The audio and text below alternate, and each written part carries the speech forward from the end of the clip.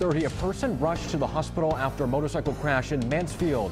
Happened around 2:30 this afternoon. Mass State Police investigating what led up to that crash. The name, condition of the victim not yet released. We'll bring you an update tonight on Eyewitness News at 10 o'clock over on Fox Providence.